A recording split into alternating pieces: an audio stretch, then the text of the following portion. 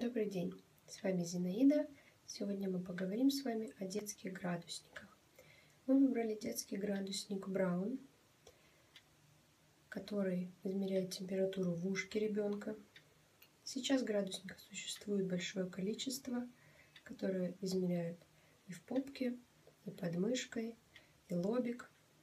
Но измеряя лобик ребенка, он всегда будет горячим, Поэтому вы будете пугаться, что у ребенка постоянная температура. В анальное отверстие ребенка мы решили не трогать его, поэтому самый эффективный и показывает более точную температуру это ушной градусник. Мы выбрали вот такой браун. К нему в комплекте шли насадки. Их потом можно отдельно или купить в аптеке, или заказать через интернет. Итак, попробуем с вами воспользоваться. Берем одну насадочку. Она легко прикрепляется. Затем включаем его. Power.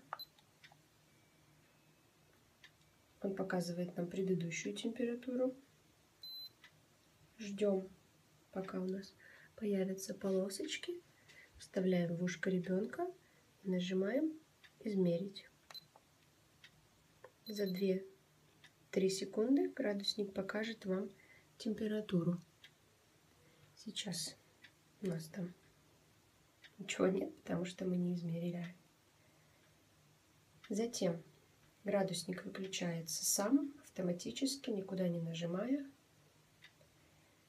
Вы можете использовать ту же насадку, а можете использовать другую.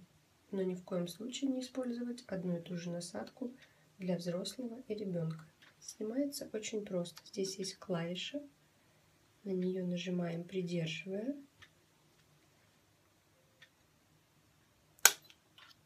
И он сам отходит.